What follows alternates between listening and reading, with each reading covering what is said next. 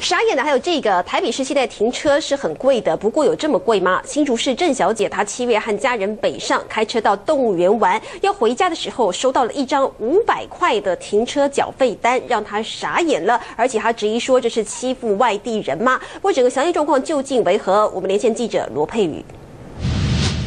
好，主播各位观众，如果你今天要来动物园玩，会发现说这个停车费真的是很贵哦。因为我们抬头一看呢，这个动物园呢，这个停车场的计费呢，平日呢是只要二十元，但是到了假日一个小时就要六十元，让很多民众哦都说来这里开车真的是很不划算，甚至有一名民众呢投诉说，来这里停车停了一个下午就要五百多块，让他说真的太夸张。连许多今天来这边玩的人都说，看到这里呢，看到这个一个小时六十块，就想把车开走。我们来看一下稍早的访问。我们从台中开过来，然后本来是要去动物园玩。节假日嘛，小时候带小朋友来玩，觉得一看到哇，那个停车费那么贵，马上就开走了。因为台北市中心一个小时假日也是顶多八十啦，哎呀，八十就已经真的蛮贵了，你这边六十真的是不太适合。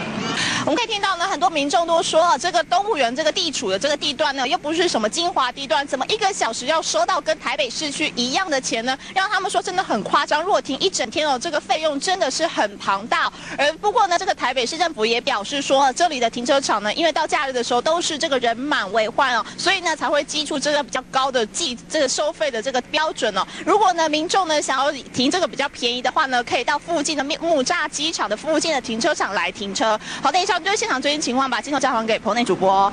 好，谢谢佩瑜哦。这个停车费收费是否太贵的争议，稍后有完整报道。